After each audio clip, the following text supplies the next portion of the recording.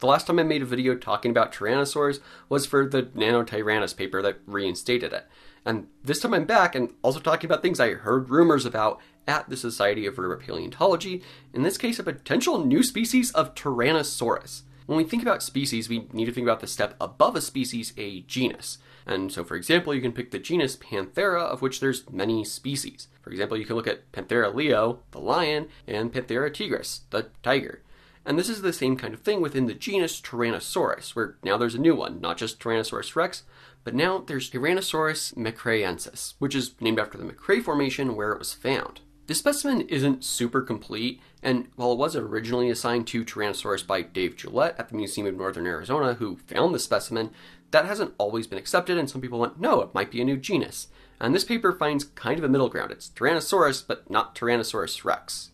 Now, I know a lot of people are going to jump to a paper a few years ago that came out and said, hey, no, there's three species of Tyrannosaurus. And that one had a lot of issues in that paper as far as just knowing how old different specimens were, but also, very importantly, using characteristics to distinguish them that were very variable. Such as just, hey, this tooth is slightly rotated. Things like that are pretty variable by a single species. So that doesn't really help in this particular case. But this paper does a lot of things better and that includes by things with stratigraphy first. And that's notable because they were able to find the site and find a tuff bed that had already been dated below it. Tuff is made up of volcanic ash, and so that means when the magma explodes, some of the different gases and different material that gets launched into the air would have cooled essentially at that eruption. And that means you can shoot lasers at it and tell how old that eruption was, more or less.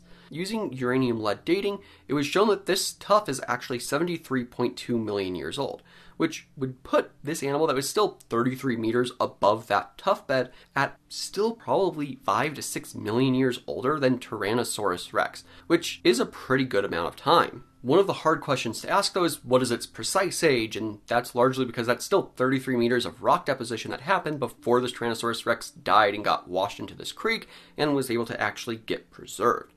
Now, 33 meters might sound like a lot, it's not a ton, so it still does seem likely that it was older than Tyrannosaurus rex. But there was also the looks at the bone that helped to distinguish that it is potentially its own species, where again they looked at more varied characteristics that aren't as likely to change over the course of variation within just a single species.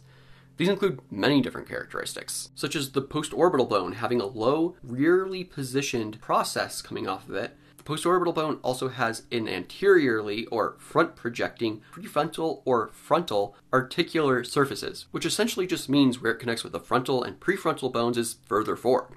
The squamosal bone also has a ventrally projecting quadratojugal process, as well as having a concave medial margin, there's also a strong ridge bounding the front margin of the squamosal bone, and specifically around the ventral, so the bottom part of the pneumatic fossa, which is a depression in the bone that helped let more air into the bone so that it could lighten the skull. The dentary is also very shallow towards the rear end of it, and it has a convex portion of it near the back and the bottom side of it, which is different than what you see in Tyrannosaurus rex. There's a number of other characteristics they also bring up, but at least you can hopefully fairly easily see, these aren't just as simple as, well, this tooth is rotated a little bit, like it was in the previous There's Multiple Species of Tyrannosaurus paper. This is also very interesting because there's been rumors of another large tyrannosaur coming from the southern part of the United States.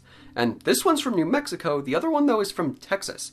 And it's been nicknamed Alamotyrannus, although that's not official yet because they haven't published on it yet.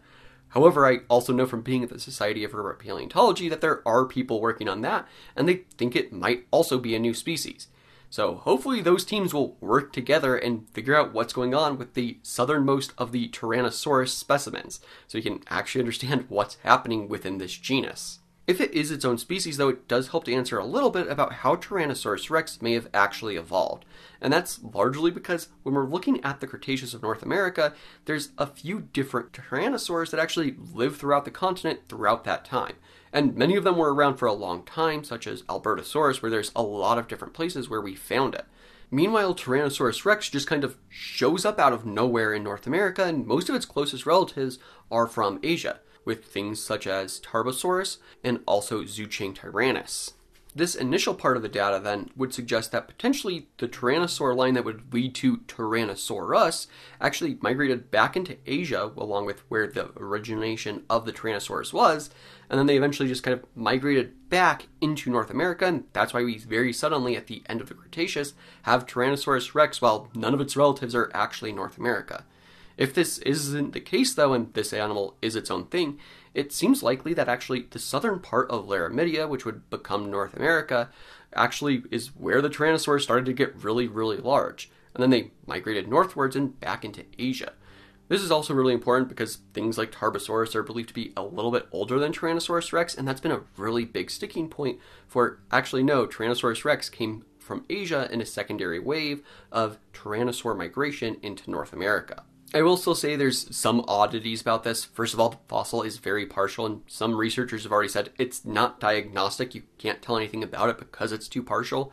Again, I'd like to see them work with the group in Texas to see if they have the same animal and maybe understand a little bit more about their evolution. But also, just looking at the phylogeny, there's one strange standout here, which is Nanotyrannus isn't anywhere in it, and one of these authors is the same person from the Nanotyrannus paper. So, what's going on? Why are they not including that in this data set? The phylogeny also shows Daspletosaurus as being not all grouped together, at least not as closely as you would expect. And this potentially means that they just have a weird data set, or maybe Daspletosaurus is also just not that closely related. Although, from most research that I've seen recently, we have a fairly good understanding about Daspletosaurus monophyly, essentially that they're all together in a single group.